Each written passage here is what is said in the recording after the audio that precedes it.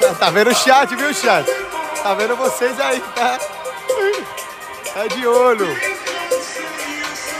Último dia não. Dia 23 E aí eu chego no Brasil, passo a mala, faço uma live pra você numa parada na foda,